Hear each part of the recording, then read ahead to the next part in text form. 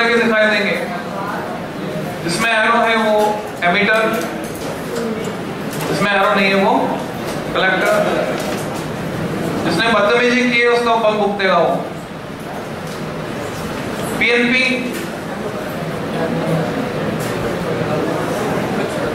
Arrow अंदर की तरफ़। एमिटर बेस कलेक्टर इसके बाद तुमने सीखा कि तीन टर्मिनल वाले डिवाइस को तीन तरह से सर्किट में जोड़ सकते हैं। या तो common base configuration common emitter मतलब एग्ज़ाम में जब सवाल लिखा हुआ आता है ना, सिर्फ़ ये लिखा हुआ आएगा सी तो तुम्हें अपने आप समझना होगा इसका मतलब है common emitter C C syllabus में नहीं है, इसको मैं डील नहीं करता। फिर तुमने सीखा था चार डिफरेंट मोड है। तो चार डिफरेंट कौन कौन से मोड है? कट ऑफ़ मोड अगर दोनों को रिवर्स बायस कर दिया दोनों जंक्शन को। दोनों को फॉरवर्ड बायस कर दिया तो सैचुरेशन मोड फ़र्स्ट को फॉरवर्ड बायस सेकंड को रिवर्स बायस किया। एक्टिव मोड फ़र्स्ट को रिवर्स सेकंड को फॉरवर्ड करेंगे तो इनवर्स मोड तो तुमने सीखा एक्टिव मोड में हमें यूज़ करना है। फिर तुमने सीखा वर्किंग ऑफ़ ट्रांजिस्टर में कि जो एमिटर करंट होती है आई ई ये होती है आई बी प्लस आई सी तो इससे हमें पता चल जाता है कि अगर ट्रांजिस्टर एनपीएन है एमिटर करंट बाहर जाएगी तो बेस करंट और कलेक्टर करंट अंदर एंटर करेंगी। और अगर पीएनपी है एमिटर करंट अंदर आएगी तो बेस करंट और कलेक्टर करंट बाहर जाएँगे। ये होती है मिली एम्पियर के ऑर्डर की। बेस करंट होती है माइक्रो एम्पियर के ऑर्डर की और कलेक्टर करंट होती है। मिली एम्पियर के ऑर्डर की 100% ये 2 टू 5% और ये 95 टू 98% फिर तुमने कुछ गेन एम्पलीफिकेशन की बात की? यानी हमने बात की। तो जो करंट में गेन मिलता है, जिसको हम करंट एम्पलीफिकेशन भी कह सकते हैं। अगर मैं लिखता हूँ आउटपुट करंट का रेशियो इनपुट करंट के साथ तो इसको बोलते हैं DC current gain symbol use करते हैं अल्फ़ा डीसी ये सिंबल अभी बता रहा हूँ आज मैंने पहले नहीं बताया alpha subscript DC for common base configuration अगर मैं कॉमन एमीटर के लिए पता करता हूँ तो मैं लिखता हूँ आईसी अपॉन आईबी क्योंकि इनपुट करंट होगी बेस करंट और अभी जो सिंबल होगा होगा बीटा डीसी जैसा तुमने लास्ट फ्रेंड पे समझाया कि ट्रांजिस्टर खुद कंज्यूम करता है काम किस पर करता है? एसी पर। एसी सिग्नल को प्रोसेस करता है। कंज्यूम करता है। डीसी खाता डीसी है प्रोसेसिंग करता है एसी सिग्नल इसलिए हमारा इंटरेस्ट इनमें नहीं है, हमारा इंटरेस्ट है अल्फ़ा एसी जो बराबर होगा delta IC upon delta I which is actually loss 0.95 के आसपास होता है लेस देन 1 जैसे मैंने बताया, ये 100% है 95 टू 98 परसेंट है। बट बीटा एसी की अगर मैं बात करूँ डेल्टा आईसी आउटपुट करंट में चेंज का रेशियो डेल्टा आईबी के साथ it is quite greater than 1 क्योंकि बेस करंट माइक्रो एम्पियर के ऑर्डर की यहाँ से हमारा इंटरेस्ट डेवलप हुआ कि करंट में गेन मिल रहा है। वोल्टेज जो कि V equal to I R होगा इनपुट रेजिस्टेंस आउटपुट रेजिस्टेंस दोनों में पता है output resistance is greater reverse bias junction के कारण। Input resistance is smaller forward bias junction के कारण। तो वोल्टेज गेन भी सफिशिएंट मिलेगा, फिर पावर गेन हो जाएगा वोल्टेज गेन और करंट गेन का प्रोडक्ट वो भी अच्छा खासा मिलेगा। यहाँ से हमारा इंटरेस्ट डेवलप हुआ कि हाँ ट्रांजिस्टर के बारे में हमें और जानना है। तो मैं आज बेसिकली तीन नंबर का एक क्वेश्चन जिसकी फ्रीक्वेंसी बहुत ज़्यादा है पूछे जाने की हर बोर्ड में, वो तो मैं प्रिपेयर करवा रहा हूँ। हेडिंग लगाओगे। Characteristics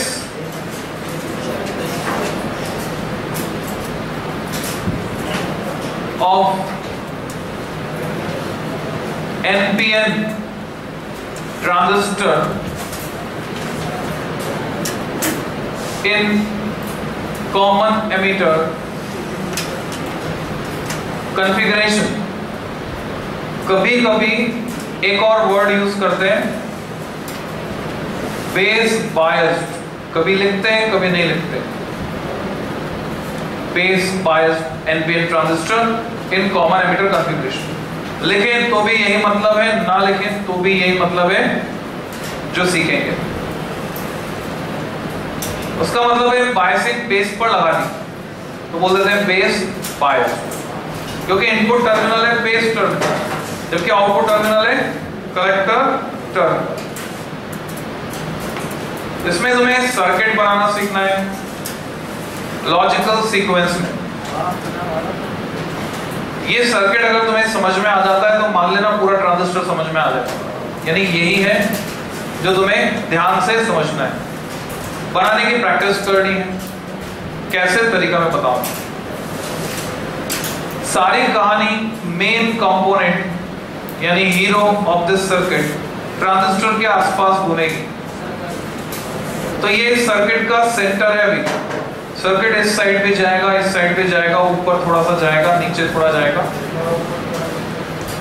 जैसे मैंने ये एरो लगाया, क्या पहचान हो गई? एमीटर है। हमने पहचान लिया एमीटर साथ साथ हमने ये भी पहचान लिया कि एनपीएन ट्रांजिस्टर है क्योंकि एरो बाहर की तरफ़ है। तो एनपीएन ट्रांजिस्टर है, ये भी पहचान हो गई, ये एन टाइप है। ये पी टाइप है और ये एन टाइप जैसे ही मैं इस एमीटर वाले टर्मिनल को जनरली जिसे भी कॉमन करना होता है नीचे रखा जाता इसको मैंने आर्ट के सिंबल से कनेक्ट किया। कॉन्फ़िगरेशन भी क्लियर हो गया हमको पता चल गया कौन सा कॉन्फ़िगरेशन है। कॉमन एमीटर ये सिंबल जिस भी टर्मिनल से जुड़ा रहेगा वो टर्मिनल कॉमन टर्मिनल है। इनपुट साइड में भी और आउटपुट साइड में। बेस हो गया इनपुट टर्मिनल कलेक्टर हो गया आउटपुट टर्मिनल क्योंकि हमें करेक्टरिस्टिक्स खींचनी है करेक्टरिस्टिक मतलब ग्राफ ग्राफ खींचने हैं तो ग्राफ खींचने के लिए रीडिंग्स चाहिए और रीडिंग्स कब मिलेगी जब? मीटर लगाएँगे। तो वोल्ट मीटर मीटर लगाने पड़ेंगे। मीटर सीरीज़ में लगाया जाता है voltmeter parallel base current हमें पता है माइक्रो एम्पेयर के ऑर्डर की है। तो ऐसे सिचुएशन में क्या लगाएँगे? माइक्रोमीटर लगाएँगे। तुम्हें बाहर जाना है तो जा सकते हो अगर तुमने इससे पहले की क्लास नहीं की तो कुछ समझ में नहीं आएगा यू मे गो कोई ऐसा बच्चा गलती से बैठ गया है, जिसने इससे पहले वाली क्लास नहीं की है, कुछ समझ में नहीं आएगा और जाना चाहे तो जा सकता है। पर बात करने की स्वतंत्रता यहाँ पर नहीं है। सारा फोकस यहाँ से। बेस करंट जो माइक्रो एम्पियर के ऑर्डर के क्या उसको मैं अमीटर लगा के नाप सकता हूँ? जवाब है नहीं। क्या लगाना पड़ेगा? माइक्रो अमीटर तो मैंने यहाँ पर लगाया माइक्रो अमीटर यही एरो मुझे करंट के डायरेक्शंस भी दे रहा है। ये बता रहा है कि एमीटर करंट बाहर आएगी। एमीटर करंट बाहर आएगी तो बेस करंट और कलेक्टर करंट अंदर जाएँगी। बनाते चलो, शुरू कर दो साथ साथ में ड्रॉ करते चलो। जिन्होंने अभी तक चालू नहीं किया है, जो बना रहे हैं वो अच्छी बात है। इनपुट करंट नापने के लिए व्यवस्था हो गई माइक्रोमीटर, आउटपुट करंट यानी कलेक्टर करंट, उसको भी नापना है। क्या लगाऊँ? अमीटर मिलीमीटर या माइक्रोमीटर? मिलीमीटर। जो भी अमीटर होता है, उसमें पॉजिटिव, नेगेटिव टर्मिनल होते हैं और वो मुझे ध्यान रख के लगाने होंगे। यहाँ पे हमें पता चल रहा है, करंट हमेशा फ्लो होती है हायर टू लोअर पोटेंशियल तो ये पॉइंट हायर पर है, ये लोअर पर है, ये हायर पर है और ये लोअर पर करंट की डायरेक्शन के हिसाब से पोलैरिटी हम मार्क कर सकते वोल्ट मीटर को लगाएँगे पैरेलल में? तो पैरेलल में वोल्ट मीटर लगाया ये वोल्ट मीटर नाप के देगा। VBE बेस एमिटर बायस इधर भी पैरेलल में वोल्ट मीटर लगाते हैं? ये वोल्ट मीटर नाप के देगा। VCE कलेक्टर एमिटर के बीच जो वोल्टेज काम कर रही। अब इसको सप्लाई देनी है। बायसिंग अभी तक नहीं बैटरी नहीं जोड़ी है बायसिंग इस तरह से करनी है कि ये एक्टिव मोड में काम करे। एक्टिव मोड में काम करे मतलब पहले जंक्शन को फॉरवर्ड बायस दूसरे जंक्शन को रिवर्स बायस पहले जंक्शन को फॉरवर्ड बायस का मतलब है। बेस जो कि पी टाइप में बैटरी के पॉजिटिव से जुड़ेगा एमीटर जो कि एन टाइप में बैटरी के नेगेटिव से जुड़ेगा। फॉरवर्ड बायस हमेशा स्मॉल होता है रिवर्स बायस हमेशा लार्ज होता है। अगर तुमने प्रैक्टिकल किया हो जाकर forward bias 0 to 1 volt and reverse bias 0 to 10 volt अब याद करो जब तुमने ज़ीरो डायोड के लिए सर्किट बनाया था तो उसमें एक तो लोड रेजिस्टेंस था आरएल और एक सीरीज़ रेजिस्टेंस था इनपुट सर्किट में इनपुट साइड में। तो तुम्हें मैंने कहा था कि आरएस जो लगाया हमने series resistance it is for better regulation similarly यहाँ पर इस सर्किट में हम एक रेजिस्टेंस लगाते हैं सीरीज़ में। हॉरिजॉन्टली अगर लगाते हैं तो सर्किट में समझना आसान होता है। और इसको मैं बोलूँगा capital R subscript in input resistance अब मैं सप्लाई दूँगा। बेस को पॉजिटिव छोटी बैटरी एमीटर को नेगेटिव प्लस माइनस और इसी बैटरी के हिसाब से वोल्ट मीटर के टर्मिनल होंगे प्लस माइनस लास्ट स्टेप पे तुमने बैटरी का नाम रखना सीखा था। तो बैटरी का नामकरण संस्कार करते क्या लिखो वी सबस्क्रिप्ट किस पे बायस लगानी? बीबी बेस पर बायस लगा पिछली बार तुमने लिखा था वीईई वीसीसी इधर भी एक रेजिस्टेंस लगाएँगे पर ज़्यादा सुटेबल होगा अगर उसको वर्टिकल पोजीशन में लगाएँ हॉरिजॉन्टल में लगाने के लिए। हालाँकि कोई फ़र्क नहीं पड़ता। इसको आर एल से भी दिखा सकते हैं और आर सी से C stand for collector R C से दिखाए तो भी तुम्हें समझना है लोड रेजिस्टेंस आर एल से दिखाए तो भी लोड रेजिस्टेंस और यहाँ पर बैटरी इस तरह से कि कलेक्टर जो कि एंड टाइप है रिवर्स बायस तब माना जाएगा जब पॉजिटिव से जोड़ेंगे. एंड लार्ज रिवर्स बायस मतलब बैटरी में ज़्यादा डंडे. इसके प्लस माइनस के हिसाब से वोल्ट मीटर का प्लस माइनस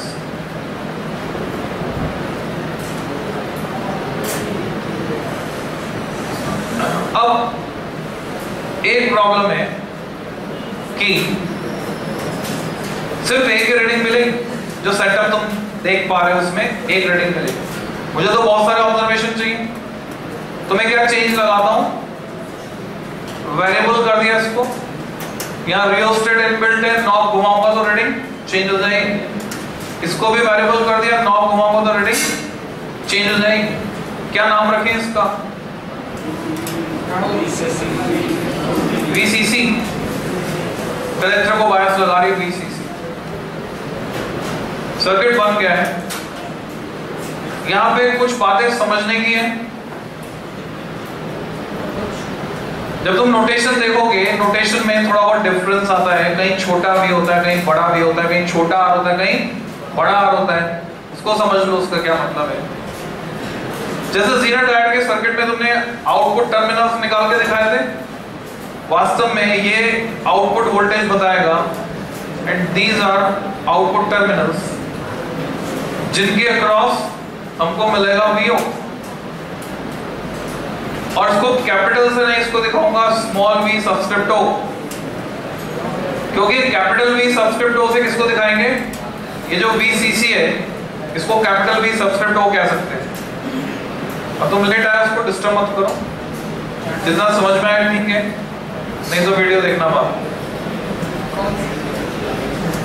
ऐसे ही जो टर्मिनोलॉजी उधर है, इसकी जगह मैं कैपिटल वी सबस्क्रिप्ट आई लिख सकता हूँ। बी बी की जगह। और इसकी जगह मैं लिखूँगा small V subscript I input voltage एक ये रेजिस्टेंस है एक बेस एमिटर जंक्शन का रेजिस्टेंस है दोनों का जो कंबाइंड इफ़ेक्ट है, उसको दिखाएँगे small R subscript in input resistance एक इसका रेजिस्टेंस है आउटपुट साइड का कलेक्टर एमिटर जंक्शन का लार्ज रेजिस्टेंस एक ही आरएल है। दोनों का जो कंबाइंड इफ़ेक्ट होगा, उसको दिखाएँगे small R subscript O output resistance तो पहले सर्किट को डिस्क्राइब करते हैं। दोबारा से समझो। लॉजिकल सीक्वेंस पकड़ने की कोशिश करो। Main component is transistor arrow लगाते हमें पता चल गया। This is emitter this is collector base जैसे मैंने नीचे सिंबल बनाया, मुझे पता चल गया it is common emitter configuration arrow बता रहा है करंट की डायरेक्शन आई की अगर बाहर जाएगी तो आई बी और आई सी अंदर आएँगे। कलेक्टर करंट को नापने के लिए हमने लगाया मिलीमीटर जिसका पॉजिटिव नेगेटिव हमें पता समझ में आ रहा है। करंट की डायरेक्शन से बेस करंट को नापने के लगाया माइक्रोमीटर उसका पॉजिटिव नेगेटिव भी समझ में आ रहा है। फिर वोल्ट मीटर लगाया पैरेलल में ये नापेगा। VPE यहाँ लगाया पैरेलल में। ये नापेगा VCE प्रैक्टिकल भी इसका प्रैक्टिकल में सेम सेटअप यूज़ करना।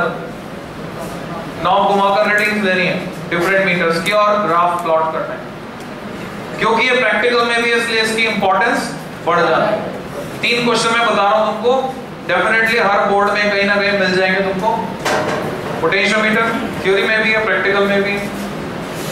प्रिज्म थ्योरी में भी और प्रैक्टिकल में भी है। ये ट्रांजिस्टर थ्योरी में भी है प्रैक्टिकल शॉर्ट शॉर्ट क्वेश्चन आने के सबसे ज़्यादा चांस अब यहाँ पर ये सीरीज़ रेजिस्टेंस आर इनपुट इसके थ्रू सप्लाई दी हमने। बेस पी टाइप है। फॉरवर्ड बायस करने के लिए positive small forward bias variable voltage battery का नाम रखा। वी वीवी बैटरी के पॉजिटिव नेगेटिव के हिसाब से वोल्ट मीटर के पॉजिटिव नेगेटिव लगाए। इधर ये वर्टिकल सिचुएशन में हमने लोड रेजिस्टेंस लगाया। कलेक्टर को लार्ज रिवर्स बायस देने के लिए बड़ी बैटरी कलेक्टर एन टाइप है प्लस से जोड़ेंगे माइनस वेरिएबल वीसीसी और इसके हिसाब से वोल्ट मीटर के पॉजिटिव तो इस सर्किट की प्रैक्टिस तुम्हें करनी है, अच्छे से। तरीका मैं बताऊँगा लेक्चर के एंड में। लिखोगे लैंग्वेज में। Considering NPN transistor. Considering NPN transistor connected in common emitter configuration. Connected in common emitter configuration. As shown common emitter configuration short form use karo as shown comma we can plot we can draw भी लिख सकते हो we can plot भी लिख सकते हो following characteristics characteristics का मतलब graphs we can plot following characteristics for it dash लगाओ. First input characteristics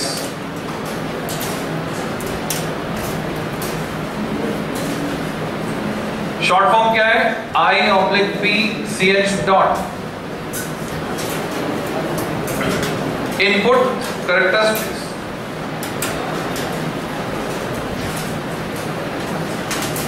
ये जनरली वोल्टेज और करंट का वेरिएशन होता है तो अगर मैं इनपुट करेक्टरिस्टिक की बात कर रहा हूँ, ये मीटर इनपुट करंट दिखा रहा है, ये मीटर इनपुट वोल्टेज दिखा रहा है। जब मैं इस नॉब को घुमाऊँगा, इसकी रीडिंग चेंज होगी तो इसकी रीडिंग भी चेंज होगी। इसके रीडिंग को इसके रिस्पेक्ट में अगर मैं प्लॉट करता हूँ। प्रोवाइडेड यहाँ से जो वोल्टेज हम लगा रहे हैं, यहाँ पर एक नॉब है, मेरे पास कंट्रोल के लिए एक नॉब वहाँ पर है, जब मैं प्रैक्टिकल करूँ। इस नॉब को अगर मैं घुमाता हूँ, ये कलेक्टर वोल्टेज बढ़ता है वीसीसी बढ़ता है। अगर तुमने वर्किंग ठीक से पढ़ी है डायग्राम तुम्हें ध्यान आ रहा है, अगर मैं कलेक्टर का बायस बढ़ाऊँगा पॉजिटिव तो खींचने की एबिलिटी बढ़ेगी। वो इलेक्ट्रॉन को खींच रहा है। खींचने की एबिलिटी बढ़ती है। तो जो रास्ते में रुक रहे हैं, उनको भी एनर्जी मिलेगी, वो भी आने लगे। तो हमने खींचने की एबिलिटी को फिक्स कर दिया। मान लो सिक्स फोल्ड क्योंकि ये रिवर्स बायस है तो मैं इसको दो तरह से बोल सकता हूँ। V equal to minus six volt या reverse bias of six volt दोनों का मतलब एक ही। या तो मैं मैथमेटिकली साइन दिखाऊँ माइनस सिक्स या मैं लैंग्वेज में बोलूँ रिवर्स बायस तो तुम लिख सकते हो। इनपुट कैरेक्टरिस्टिक हेडिंग लगाया तुमने इसमें लिख रहे हो? It is variation of input current it is variation of input current bracket में I B I subscript B bracket close with input voltage with input voltage bracket में V subscript BE V subscript BE close ये ना लिखा BE keeping comma लगा के लिखोगे keeping output voltage keeping output voltage कौन सी आउटपुट वोल्टेज ये है VCE keeping output voltage bracket में VCE कांस्टेंट डैश लगा दो ग्राफ ड्रॉ करोगे। Graph will look like this X axis पर V BE unit volt y axis पर IB यूनिट माइक्रो एम्पियर अब ग्राफ खींच रहे हैं पीएन जंक्शन के लिए। Base emitter junction is just like a PN junction तो ज़्यादा तुमने पीएन जंक्शन को फॉरवर्ड बायस में कनेक्ट करके ग्राफ खींचा था। लगभग वैसे ही ग्राफ आने वाला है। पीएन जंक्शन को फॉरवर्ड बायस में कनेक्ट किया। तो कब तक करंट फ्लो नहीं होती? जब तक कि पोटेंशियल बैरियर पोटेंशियल को क्रॉस नहीं कर जाता। एक बार लिंक ब्रेक करना ज़रूरी हो गया ये बाहर से वो, जो कुछ भी पक रहा है उसकी। धुएँ को खींच के अंदर भेज रहा है। तो एक बार लिंक ब्रेक होगा तो फिर अलग जगह से ये हवा खींचेगा। वापस चलाते थोड़ी देर।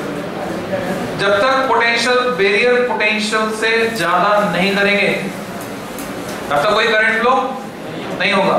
अगर डायोड बना होता था सिलिकॉन का, मान लो ट्रांजिस्टर बना हुआ है सिलिकॉन का तो वो वैल्यू बैरियर पोटेंशियल की जो तुम्हें याद हो गई होगी शायद, 0.6 volt for silicon and for germanium 0.2 volt 0.6 से 0.7 वेरिएशन मिलता है. 0.2 से 0.3 वेरिएशन मिलता है.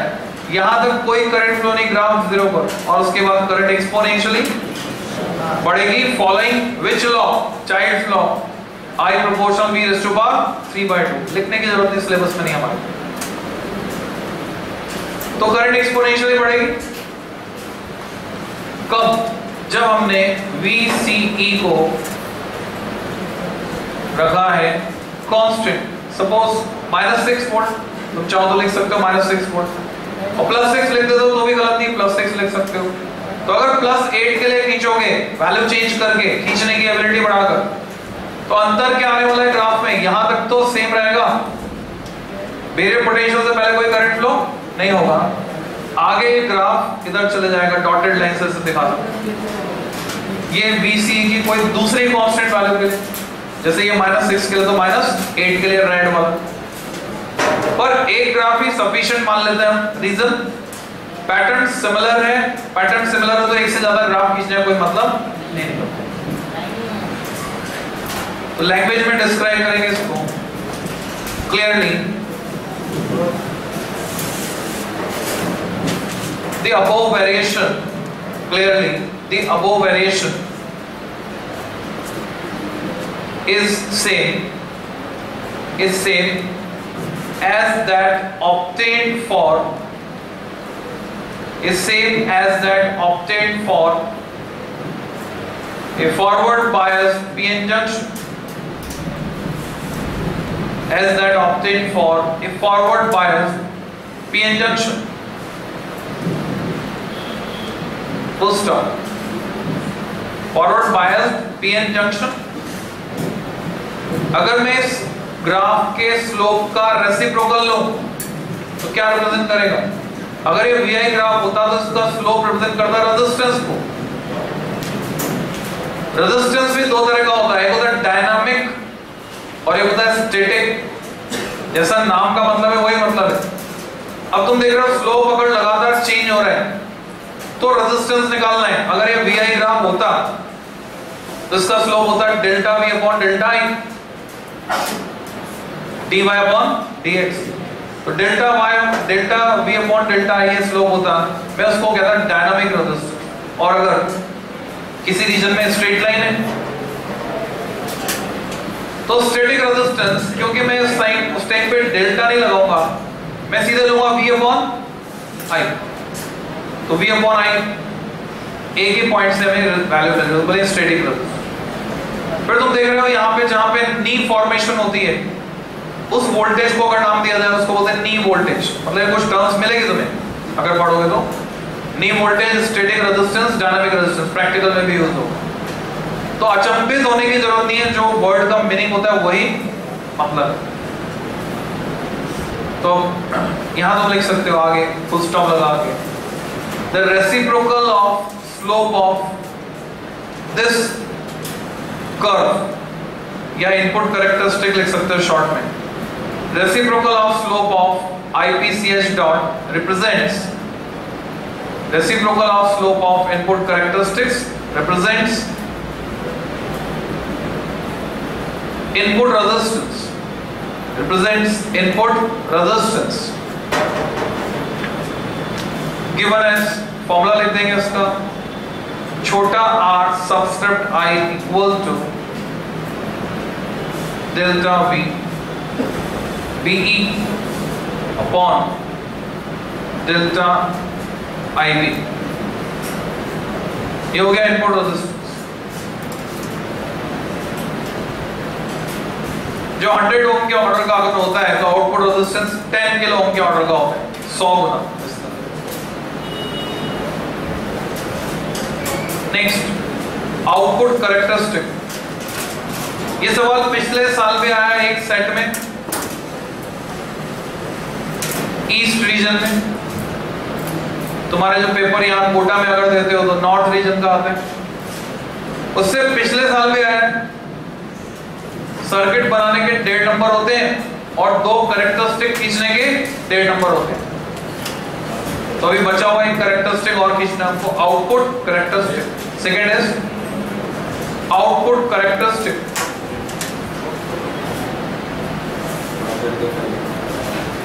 अब तुम सिमिलरिटी लगाकर प्रेडिक्ट कर सकते हो कि ये क्या ड्रॉ करना है। किसके किसके बीच होगा इसका वेरिएशन इसके साथ? कीपिंग विच कांस्टेंट यहाँ सिमिलरिटी के साथ दिमाग में लगाना पड़ेगा थोड़ा सा। वी पी को नहीं, हम आई बी को कांस्टेंट रखते हैं। हालाँकि दोनों लिंक्ड हैं। जब हमने इनपुट करेक्टरिस्टिक खींचा था तो आउटपुट वोल्टेज को कांस्टेंट रखा था। और जब हम आउटपुट करेक्टरिस्टिक खींचते हैं तो इनपुट करंट को कांस्टेंट रखते हैं। लिखोगे it represents variation of it represents variation of output current output current bracket में delta IC delta IC W R T with respect to output voltage with respect to output voltage bracket में delta VCE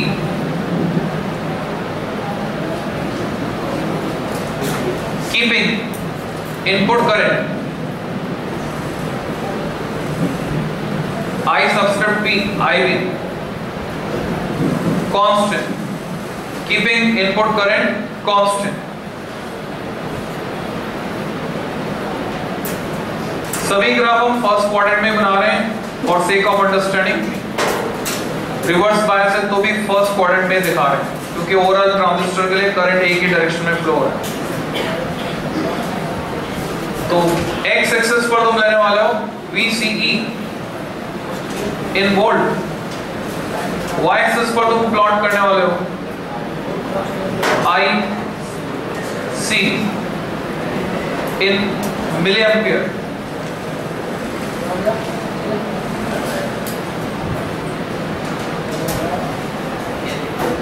practically milliampere. कैसे आएगी? पिछली बार हमने क्या किया था? इस ग्राफ को बनाने के लिए यहाँ से नौ घुमाई माइनस सिक्स इसमें दिख रहा है वोल्ट मीटर में, वहीं रोक दिया उसको। फिर इस नौ को घुमाया धीरे धीरे। हमने देखा जब तक पॉइंट सिक्स वोल्ट इसमें नहीं आ रहा है, तब तक इसकी निडल ज़ीरो पर पड़ी थी। तो ग्राफ यहाँ तक रहा ज़ीरो पर। फिर जैसे जैसे इस नॉब को और आगे बढ़ाते हैं निडल आगे चलती है माइक्रो एम्पियर अब की बार मान लो यहाँ से इसको इतना चलाया और पॉइंट सेवन पॉइंट सेवन या पॉइंट एट की रीडिंग दे रहा है twenty micro ampere twenty micro ampere इसको फिक्स रखा, छोड़ दिया इस नॉब को। अभी यहाँ पे ज़ीरो था तो भी कुछ करंट मिलेगी। ज़ीरो से स्टार्ट होगी। वो करंट तो ज़ीरो होगी तो भी ज़ीरो अभी इस नॉब को धीरे धीरे बढ़ा रहा इस वोल्टेज को बढ़ा खींचने की एबिलिटी बढ़ रही है। जो रास्ते में रुक गए थे, वो इलेक्ट्रॉन भी पहुँचना शुरू हो होंगे करंट बढ़ेगी। कब तक बढ़ेगी? क्या इंडेफिनेटली बढ़ेगी? इसको इंडेफिनेटली बढ़ाए तो? जवाब है नहीं। जिस रेट से वहाँ से इलेक्ट्रॉन छूट रहे हैं जब उस रेट से यहाँ पहुँचने लग जाएँगे तो उससे ज़्यादा तो और इलेक्ट्रॉन है नहीं कहीं से आने वाले नहीं। तो करंट सेचुरेटेड हो जाएगी बढ़कर कांस्टेंट हो जाएगी। शुरू में तेज़ी से बढ़ेगी। उसके बाद भले तुम इस वोल्टेज को बढ़ाओ अब करंट बढ़ने वाली नहीं। सारे के सारे इलेक्ट्रॉन पहुँच रहे हैं करंट सैचुरेटेड हो जाएगी। तो graph will look like this शुरू में तेज़ी से बढ़ी then constant for I is equal to 20 microampere output characteristic इसके सॉल्व एग्जांपल एनसीईआरटी अब मैंने फिर एक और ग्राफ खींचने के लिए यहाँ से इस नॉब को थोड़ा सा घुमाया इतना कि यहाँ जो रीडिंग है 20 माइक्रो एम्पियर से हो जाए 40 माइक्रो एम्पियर जैसे ये 40 यानी ज़्यादा रेट यहाँ पर आए तो ये करंट भी क्या होगी? बढ़कर थोड़ा हायर वैल्यू पर कांस्टेंट होगी। जैसे फ़ोटो इलेक्ट्रिक इफ़ेक्ट में इंटेंसिटी बढ़ा देते थे, और इस तरह का असर होता था, वैसा ही होगा। हायर वैल्यू पर जाकर सैचुरेटेड होगी। फिर मैंने यहाँ से नॉब को थोड़ा सा घुमाया 60 micro ampere again slightly higher 60 micro ampere. तो इनको कहते हैं output characteristic.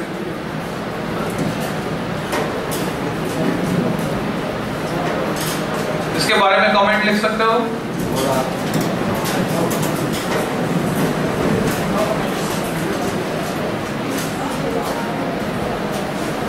Initially, current increases rapidly. Initially current increases rapidly with increase in VCE with increase in VCE and then it gets saturated. It gets saturated. Full stop. अगर तुम symmetry लगाओ तो इस graph के स्लोप का reciprocal किसके बराबर होगा? आउटपुट रेजिस्टेंस तो लिखोगे the reciprocal of slope of output characteristic reciprocal of slope of output characteristic represents reciprocal of slope of output characteristic represents output resistance expression तुम अपने आप पे लिख सकते हो small r subscript को delta VCE on delta IC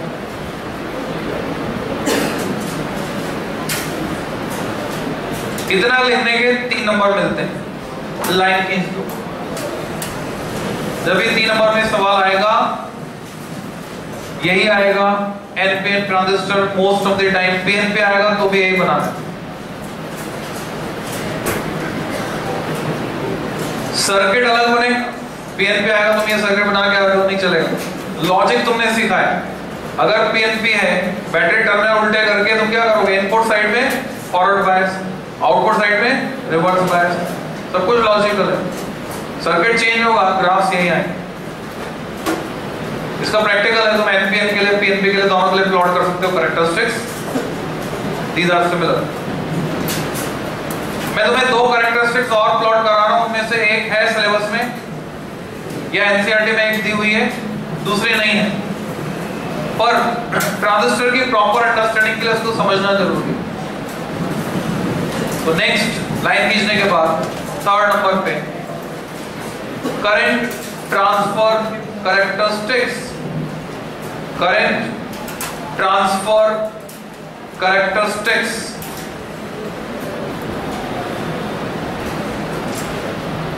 just think about transistor कहते हैं ट्रांसफ़र रजिस्टर जैसा तुम्हें पता है। तो सोचो, ये मीटर है जो अवेलेबल है। जितने भी रीडिंग बनानी है, इन्हीं से तो बनानी है। जो भी ग्राफ प्लॉट करना है, इन्हीं की कोई रीडिंग लेकर ग्राफ प्लॉट करना है। तो बताओ करंट ट्रांसफ़र करेक्टरिस्टिक किसका वेरिएशन किसके साथ होना चाहिए? प्रेडिक्टेड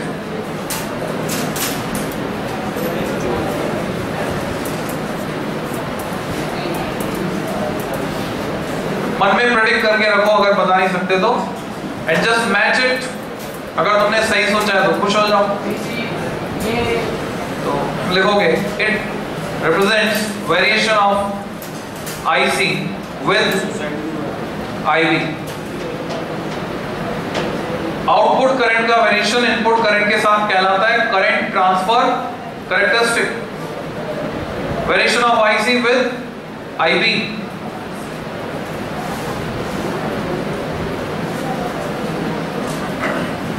कैसे? इस मीटर का वेरिएशन इस मीटर की रीडिंग के साथ. इसके लिए हम इसको फिक्स कर देंगे। यहाँ से इसको फिक्स कर दिया, खींचने की एबिलिटी फिक्स ये नॉब घुमाएँगे। पिछली बार जब हमने इनपुट करेक्टरिस्टिक प्लॉट किया था, इस नॉब को घुमाते वक्त इन दोनों की रीडिंग प्लॉट की थी। अब की बार इन दोनों की नहीं, इसकी और इसकी रीडिंग प्लॉट करें। तो क्या देखने में आता है, जब मैं इसे घुमाता हूँ। इसकी निडल और इसकी निडल प्रोपोर्शनेटली मूव करती एक जैसे। सिमिलर मैनर पर ये माइक्रो एम्पियर में चेंज होता है पर ये मिली एम्पियर यहाँ से एक गहरी बात समझने को मिलती है कि इनपुट करंट में स्मॉल चेंज जो कि माइक्रो एम्पियर के ऑर्डर का है आउटपुट करंट में लार्ज चेंज प्रोड्यूस कर रहा है, जो कि मिली एम्पियर के ऑर्डर इस तरह से हमें एम्पलीफिकेशन मिलता है। बढ़कर मिलती है। अगर सिग्नल में एम्पलीट्यूड इतना सा है तो इधर जो एम्पलीट्यूड है वो बढ़कर मिलेगा एम्पलीफाई होकर मिलेगा सिग्नल अगर इधर पहले ऊपर है और इधर भी पहले ऊपर ही मिल रहा है, इसी सिग्नल है ना? इधर पहले ऊपर है इनपुट सिग्नल पहले ऊपर है और इधर भी पहले ऊपर मिल रहा है तो बोलेंगे दोनों सेम फ़ेज़ में। इधर पहले ऊपर जा रहे है इधर पहले नीचे जाके फिर ऊपर जाता हैं तो बोलेंगे opposite phase common emitter configuration में इनपुट और आउटपुट सिग्नल अपोजिट फ़ेज़ में होते हैं। जबकि कॉमन फ़ेज़ में सेम फ़ेज़ में होते कैसे उसको पढ़ेंगे आप? तो अभी करंट ट्रांसफ़र करेक्टरिस्टिक जो तुमने लिखा है वेरिएशन मैं यहाँ पे अगर ग्राफ बनाता हूँ एक्स एक्सिस पर आईवी माइक्रो एम्पियर में वाई एक्सिस पर आईसी मिली एम्पियर में। इस ग्राफ से भी तुम्हें समझ में आ रहा है जैसे जैसे आईवी बढ़ रही है वैसे वैसे आईसी बढ़ रही है सेचुरेशन वाले उसकी बढ़ रही है। तो graph look like straight line proportion और अब इस ग्राफ का अगर मैं स्लोप निकालता हूँ slope of this curve delta IC upon delta IV क्या फैमिलियर साउंड कर रही है टर्म पहले कभी देखी पढ़ी है delta IC upon delta IV क्या कहते हैं इसको? वेरी गुड बीटा एसी अगर मैं डेल्टा हटा दूँ, मैं सिर्फ़ आईसी अपॉन आईवी निकालूं तो इसको क्या कहते हैं? अगला सवाल, क्या ये डिफरेंट होंगे? इस ग्राफ को देख के बताओ। क्योंकि इस ग्राफ का स्लोप पूरे टाइम सेम है तो ये दोनों भी सेम होंगे। तो एक इंपॉर्टेंट कंक्लूजन यहाँ पे निकलता है जो एनसीईआरटी में मार्क्ड है। These are equal beta AC equal to beta DC common emitter configuration में करंट गेन चाहे वो अल्टरनेटिव नेचर का हो या डायरेक्ट नेचर का, दोनों सेम होते हैं। करंट एम्पलीफिकेशन फैक्टर एसी और डीसी सेम होता हैं। पर कॉमन बेस में सेम नहीं होता है। Alpha AC is not equal to alpha DC but beta AC is equal to beta DC वो हमें नहीं पढ़ना। ये पढ़ना है। क्लियर एक और करेक्टरिस्टिक खींचेंगे क्या होनी चाहिए अगली करेक्टरिस्टिक प्रेडिक्ट करो? वेरी गुड मतलब सिमिलरिटी समझ में आ रही तुम्हारे पकड़ में आ रही सिमिलरिटी हर सब्जेक्ट में सिमिलरिटी होती है उसको समझने की कोशिश करो, पकड़ने की कोशिश करो, चीज़ें आसान हो जाए तो next fourth number voltage transfer characteristic voltage transfer characteristic ये ग्राफ डबल साइज़ बनाओगे जितना अभी तक तुमने बनाए थे इसका। अपने आप देखो इसमें, किसका वेरिएशन किसके साथ प्लॉट करने वाले हो? Make language at your own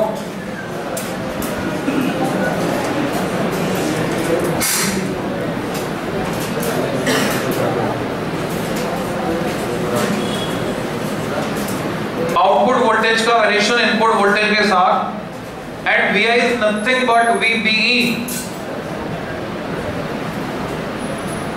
and VO is nothing but small V पर कैपिटल वी का ध्यान रखना। VO is nothing but equal to pedal में ना? V VCE in bold in bold इस ग्राफ को प्रेडिक्ट करने के लिए हमें लूप लॉ की मदद लेनी होगी। एनसीईआरटी में इसमें इनपुट साइड में भी लूप लॉ लगाकर कुछ इक्वेशंस निकाली हुई हैं आउटपुट साइड में भी लगाकर। हमें इनपुट साइड में लूप लॉ की ज़रूरत नहीं, सिर्फ़ आउटपुट साइड में लगाएँगे, उससे काम चल जाएगा हमारा। अगर मैं इस लूप में लूप लॉ लगाता हूँ तो मैं एक इक्वेशन लिख सकता हूँ।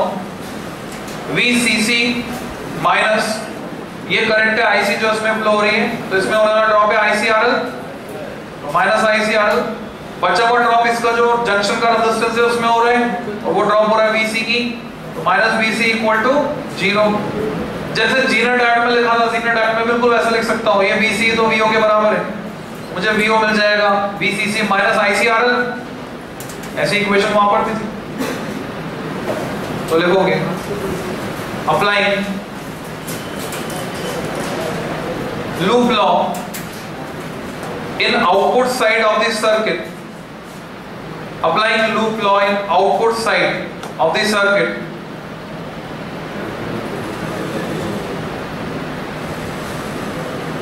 we can write we can write VCC minus ICRL minus VCE equal to zero और rearrange किया small v subscript o equal to v, capital V subscript c equal to VCC minus ICRL बड़े काम की equation इससे हमें phase का भी पता चलेगा. सेम फ़ेज़ या अपोजिट फ़ेज़ एम्पलीफिकेशन का भी पता चलेगा और जो भी ये ग्राफ खींचना चाहते हैं, इसका पता चलेगा. Now concentrate focus on board मैंने कहा फोकस ऑन बोर्ड एक बच्चा अभी तक कॉपी में लगा हुआ है। तो तुम कुछ खोदोगे। यहाँ तक आईवी ज़ीरो है, जब तक बैरियर पोटेंशियल क्रॉस नहीं होता। जब तक आईवी ज़ीरो है, तब तक आईसी भी ज़ीरो है। और जब तक आईसी ज़ीरो है, इस इक्वेशन से वीओ किसके बराबर है? VCC suppose this level corresponds to VCC तो कुछ समय तक वीओ वीसीसी के बराबर बना रहेगा। जितने समय तक? आईवी ज़ीरो रहेगी आईसी ज़ीरो रहेगी स्ट्रेट लाइन उसके बाद ये बढ़ती है आईपी आईपी के साथ आईसी प्रोपोर्शनेटली बढ़ती है लीनियरली बढ़ती है। आईसी अगर लीनियरली बढ़ेगी तो वीओ लीनियरली घटेगा। तो वीओ लीनियरली घटता है। कब तक? आईसी बढ़कर कांस्टेंट हो जाती है सैचुरेटेड हो जाती है। तो वीओ घटकर कांस्टेंट हो जाएगा अराउंड वन वोल्ट के आसपास। वोल्टेज ट्रांसफ़र करेक्टरिस्टिक जिसमें हम तीन रीजन डिफाइन कर सकते हैं। मेन क्लास में जब टीचर इस पार्ट को पढ़ाएँगे या पढ़ाते हैं तो तुमसे बोलते हैं ये जो इलेक्ट्रॉनिक डिवाइसेस हैं और जो कम्युनिकेशन सिस्टम है ये इसमें समझने का कुछ नहीं है। ये रटने का है और इसमें समझने का कुछ नहीं ऐसा बोल देंगे। ज़्यादातर टीचर सब नहीं एक्सेप्शन आर दिया तो बेसिकली सबसे ज़्यादा समझने का एक दो चक्कर में है। अगर तुम फील कर उसको तो जो बच्चे रटते हैं इस चीज़ को, वो इस ग्राफ में बेसिक मिस्टेक करते हैं। इवन स्टार बैच के बच्चों ने गलतियाँ की है प्रीवियस इयर्स में, कि ये वाला ग्राफ जब बनाते हैं तो कैसे बनाते हैं? ऐसे ऊँट का कुबड़ निकाल देते हैं इसमें। और एग्जामिनर देखते समझ जाता है, इसको कुछ नहीं आता, काट देता है पूरा। जब तीन नंबर का सवाल होता है, आधा नंबर से। इसका डिस्क्रिप्शन ये ग्राफ अकेला तीन नंबर में आता है। पूरे डिस्क्रिप्शन के साथ। तो तुम्हें ध्यान रखना है, ये स्ट्रेट है परफेक्ट स्ट्रेट लाइन कर्व नहीं है, ऐसे नहीं है। क्यों नहीं है? रीजन तुम्हें पता है? समझ में आ गया होगा रीजन तो रटने जैसी कोई बात नहीं है। सब कुछ समझ के कर सकते तो मैं तीन रीजन में इसको डिवाइड करता हूँ, यहाँ से यहाँ तक। फ़र्स्ट फ़र्स्ट रीजन में अगर मैं कलेक्टर करंट की बात करूँ तो कितनी है? ज़ीरो सेकंड यहाँ पर अगर कलेक्टर करंट की बात करें तो चेंज हो रही लगातार। किसके proportional base current input current के प्रोपोर्शन और इन थर्ड रीजन यहाँ पर अगर बात करें तो कलेक्टर करंट कांस्टेंट है मैक्सिमम सैचुरेटेड है कि नहीं? ऐसा है? इन सिचुएशन को समझो। बचपन में तुमने कार्ड चलाई थी, ताली बजाई कार्ड चालू, ताली बजाई, बंद. क्लैप स्विच आता है, कोई भी अप्लायंस को हम चालू कर सकते हैं, बंद कर सकते हैं. At this clap sound sound of clap और भी किसी साउंड से उसको एक्चुएट कर सकते हैं। ट्रांजिस्टर सर्किट होता है। इसको हम बोलते हैं कट ऑफ़ रीजन यहाँ पे जहाँ पे कलेक्टर करंट ज़ीरो है कलेक्टर करंट ज़ीरो तो अप्लायंस काम करेगा क्या? करंट फ्लो नहीं हो रही। आईसी ज़ीरो अप्लायंस काम नहीं करेगा। काम नहीं करेगा मतलब स्विच ऑफ़ स्टेट अप्लायंस रहेगा स्विच ऑफ़ तो इस रीजन को कहते हैं कट ऑफ़ रीजन कंफ्यूज नहीं होना है। Cut off mode is different from cut off region cut off mode होता है जिसमें दोनों जंक्शन को रिवर्स बायस करते थे ये कट ऑफ़ रीजन है फ़र्स्ट वाला।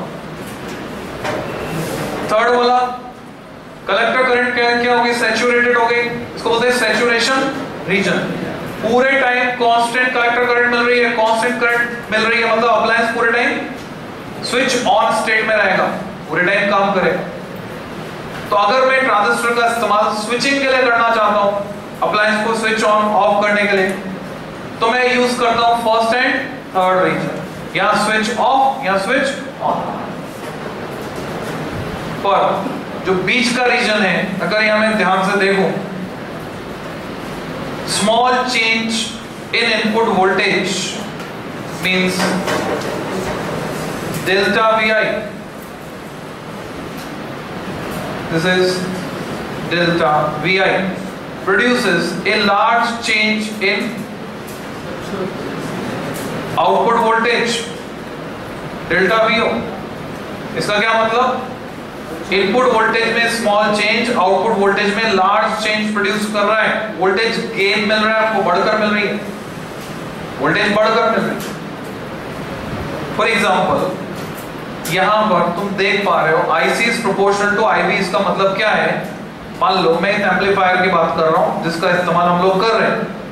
अगर मैं धीरे बोलता हूँ तो मेरी आवाज़ धीरे आती है, पर जैसे ही मैं तेज बोलता हूँ, मेरी आवाज़ response is there active response तो इस रीजन को क्या बोलते हैं?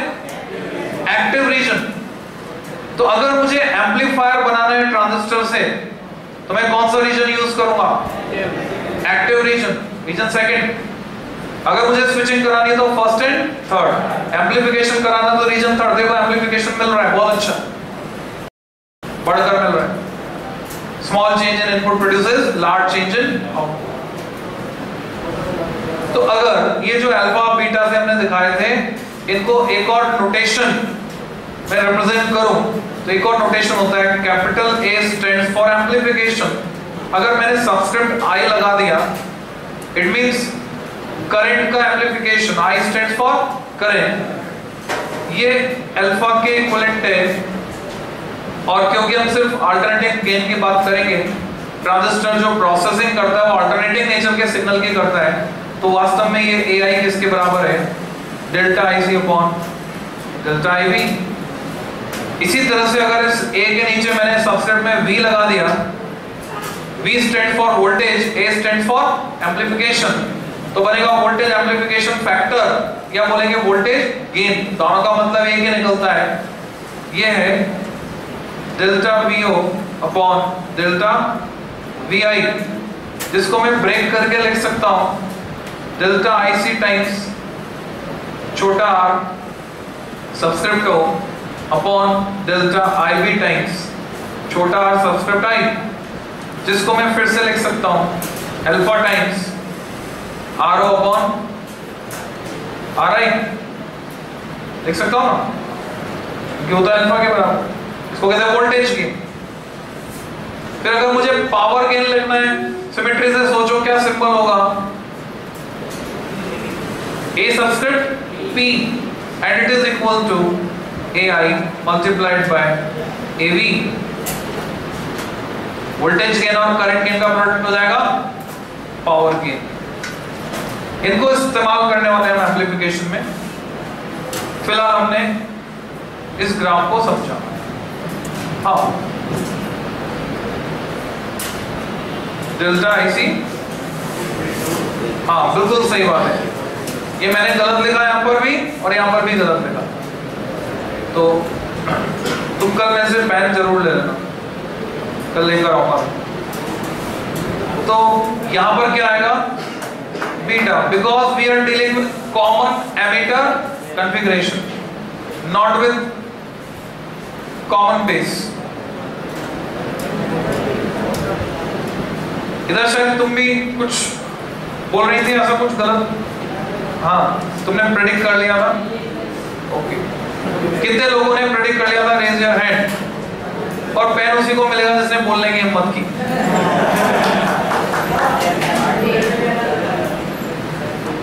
तो हम चाहते हैं ये परमानेंट हो जाए। मतलब ये जो आज तुमने मेहनत की है, यहाँ पे पूरे फोकस से समझने की कोशिश की है, इसमें नुकसान नहीं हुई है एग्ज़ाम तक काम आ जाए। तो इसका एक तरीका वो मैं बता रहा हूँ। वो तरीका इस्तेमाल करो तो ये परमानेंट हो जाएगा और ट्रांजिस्टर की एक परफेक्ट अंडरस्टैंडिंग तुम्हारे दिमाग में पाए बच्चे परेशान रहते हैं इसको लेकर। किसी ऐसे बच्चे को दिखा देना अपना रजिस्टर जिसने क्लास अटेंड नहीं किए, वो डिप्रेशन में आ जाएगा तो क्या करना है तुमको कल का दिन और परसों का दिन। दो दिन याद रख के, इसमें तुम्हें दस मिनट लगेंगे पूरा बनाने। टेन मिनट्स आर सफिशिएंट पूरा बना दो। एक बच्चे को पकड़ना कल, एक बच्चे को पकड़ना परसों। जो अनफैमिलियर हो। इसको बोलना मैं तेरे को मोस्ट इंपॉर्टेंट समझा रहा हूँ ये आर्टिकल इसको समझ ले।